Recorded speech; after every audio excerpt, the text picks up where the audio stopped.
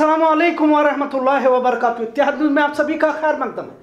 अब इस मुल्क में बहुत कुछ बदल रहा है। यकीनन देश बदल चुका है। कभी गंगा जमनी तहजीब के लिए मुख्तलिफ़ मजाहिब ज़ात भाषाओं का गुलदस्ता कहा जाता था। दुनिया भर में मुख्तलिफ़ मजाहिब के लिए जिसे याद किया जाता था, शायद अब ख़त्म हो चुका है। आपको रोज़ाना मस्जिद और मस्जिद के सामने भगवा परचम लिए जय श्री राम का नारा लगाते भीड़ अक्सर नज़र आएगी। गरीब मजदूर ठेले वाले के फ्रूट इसलिए सड़क पर फेंक बर्बाद किए जाएँगे क्योंकि वो मुसलमान है। इसी तरह रोज़ाना कोई बजरंग मुनिया फिर नरसिमानंद जैसे नाम वाले मुस्लिम लड़कियों की असमत रेजी का ऐलान मस्जिदों के सामने खड़े होकर करेंगे। ऐसे ही नहीं, बल्कि पुलिस की मौजूदगी में इस तरह की धमकी दी जाएगी। आज बजरंग मुनि की गिरफ्तारी को लेकर एहतजाज किया गया, जिसमें कई खातन शरीक रही। वाजह रहे कि इसी बजरंग मुनि स्वामी ने सीतापुर मस्जिद के सामने स्पीकर पर ऐलान किया था कि मुस्लिम औरतों बेटियों की असमत रेजी की जाएगी। अब उस हुकूमत से क्या उम्मीद करेंगे जिस हुकूमत में इंतजामिया के सामने यह तमाम बातें कही जा रही है? अब देशभक्त या राष्ट्रभक्त होने के लिए नया पैमाना ढूंढ निकाला है। अगर कोई भी मुसलमानों के खिलाफ जो चाहे कह दे, इसी को राष्ट्रवादी कहा जाएगा। लिहाजा मुसलमानों के खिलाफ जो चाहे नारेबाजी करते हुए मस्जिदों पर पथराव करना, तोड़फोड़ करना और भगवा परचम मस्जिदों पर लगाना, इस तरह की वारदातें रोज़ाना देखी जा रही है। पहले भी कई सारे त्योहार मनाए जाते थे। भारत एक धर्म निरपेक्ष मुल्क है और सभी मजाहिब के लोगों को अपने धर्म पर चलने की आज़ादी है। इसी तरह त्योहार भी मनाने की आज़ादी सभी को है। लेकिन अब पिछले कुछ सालों से और खासकर मोदी हुकूमत इकतदार पर आने के बाद माहौल बदल गया है। रामनवमी पूरे देश में मनाई जाती है और इस बार भी मनाई गई। ऐसे भी तस्वीर देखी गई कि रामनवमी के जुलूस में मुसलमानों ने पानी की बोतलें खाने पीने की चीज़ें जुलूस में शरीक होने वाले अपराधों को दी। और ऐसा ये पहली बार नहीं हुआ कि मुस्लिम समाज ने किसी के डर से या फिर खौफ से इस तरह के पानी या खाने की चीज़ें तकसीम की होंगी। अगर आप पीछे पलट कर देखेंगे, इस माशरे ने हमेशा अपने किरदार को पेश करने की कोशिश की है और हमेशा एक अमन का पैगाम दिया है। ऐसा नहीं कहते कि गलतियाँ नहीं हुई है, गलतियाँ भी हुई है, पर क्या उन अच्छाइयों को भूल जाओगे? जब नंगे पाँव मजदूर हज़ारों किलोमीटर दूर लॉकडाउन में जा रहे थे तो यही वो समाज था जो अपने पाँव की जूते उतार कर तुम्हारे पाँव में डाल रहा था। जब भी बाढ़ आती है तो किसी धर्म मज़हब का तफरका न करते हुए पानी में जाकर बाढ़ मुतासरीन को खाना पहुँचाया, राशन पहुँचाया, यहाँ तक के कपड़े पहुँचाए। मदरसे मस्जिदों में इंसानियत का पैगाम देते हुए बाढ़ मुतासरीन को पढ़ा दी, महज किसी तरह अल्लाह राज़ी हो जाए। सर्दी में कंबल तो गर्मी में छोटे बच्चे तक ठंडा पानी पिलाकर नेकी कमाने की कोशिश करते हुए देखा गया। लॉकडाउन में बसों और गाड़ियों के पीछे दौड़ दौड़ कर मदद करने पहुँचा जाता था। क्या तमाम बातें किसी को भी याद नहीं रही? यहाँ तक के कोरोना के दौर में मरने के बाद तुम्हारे खुद के रिश्तेदार नज़दीक नहीं आ रहे थे। कोई छूना तक नहीं चाहता था। ऐसे वक्त में भी अपनी जानों की परवाह न करते हुए अंतिम संस्कार करने के लिए दौड़ पड़ते थे, वो यही समाज था। और आज इस इंतहा की नफरत ने तमाम भाईचारे की लकीरों को मिटाकर खून के पैसे हो गए। कितनी नफरत तुमने पाली है? इस समाज को लेकर के किसी भी मस्जिद के सामने अजान के वक्त पहुँच जाते हो और हनुमान चालीसा शरारत करने के लिए पढ़ते हो। अजीब लगता है, मस्जिदों के मीनारों पर भगवा परचम लगाकर बहादुरी का मुजार करते हो, हथियार लहराते हुए राम के नारे लगाते हो। क्या यही हिंदुत्ववाद क्या इसी तरह का मुल्क बनाना चाहते हो? कहाँ गया हो भाईचारा? जब हम फख्र से कहा करते थे कि दिवाली में अली और रमज़ान में राम है, कहा करते थे। कभी खाने के बर्तन एक दूसरे के घरों में जाया करते थे। अब इतनी नफरत, महज कुछ सियासी लीडरों के बहकाव में आकर रामनवमी के जुलूस के बहाने कई मस्जिदों पर पथराव किया गया। तकरीबन चार रियासतों में कई शहरों में रामनवमी के जुलूस के वक्त फसाद बरपा हुआ। गुजरात में एक फर्द की मौत भी हो गई, सैकड़ों घायल हो गए, कई दुकानों को आग लगा दी गई। मतलब ये भी कि किसी के इशारे पर अंजाम दिया जा रहा था। सबसे अफसोसनाक पहलू तो यह है कि पुलिस हुकूमत के जेर मातहत काम कर रही है। मध्य प्रदेश, गुजरात, यूपी में बजाय फसादियों पर कार्रवाई करने के मुसलमानों पर ही कार्रवाई की गई। हिम्मतनगर गुजरात की मस्जिद और मज़ारों को जलते हुए देख सकते हैं। इसी तरह मध्य प्रदेश के खरगोन में कल मुस्लिमों के घरों को जलाया गया। मस्जिद पर पत्थरबाजी कर आग लगाई गई। उल्टा प्रशासन ने ही सत्तर से अधिक मुसलमानों को गिरफ़्तार कर लिया।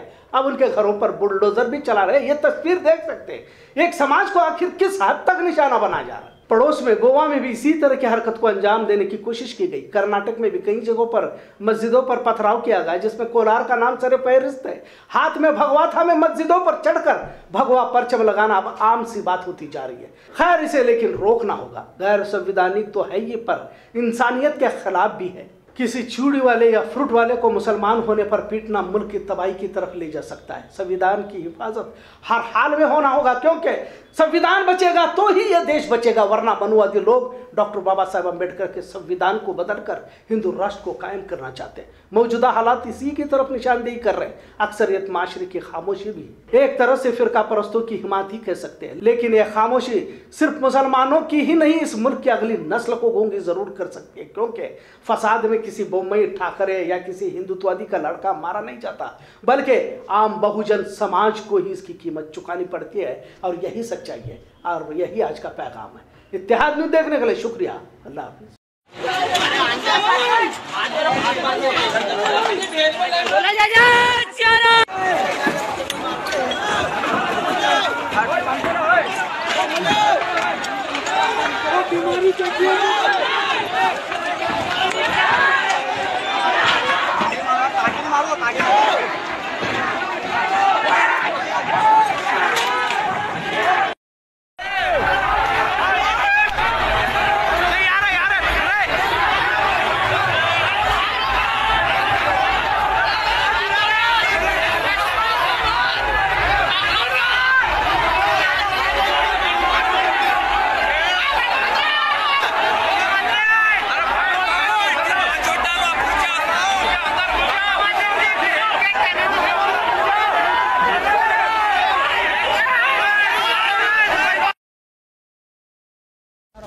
chưa?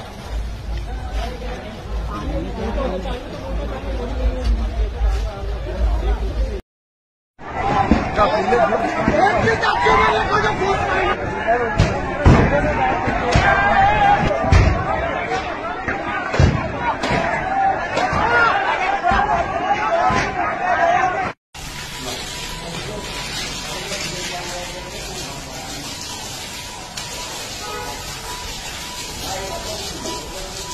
हाँ, हाँ, हाँ, बंद कर छोड़ बंद कर।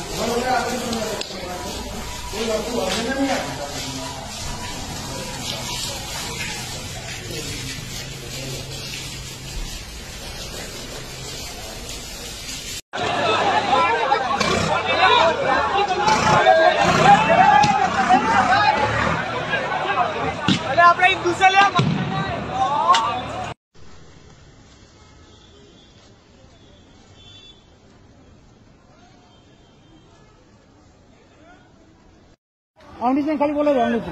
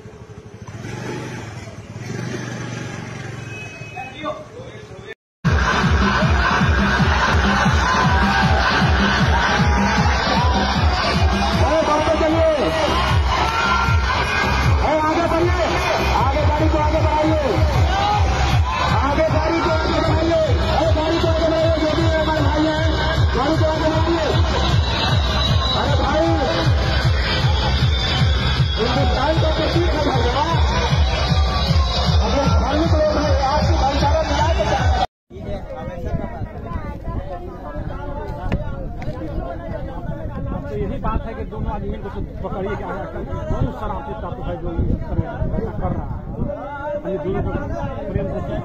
आपके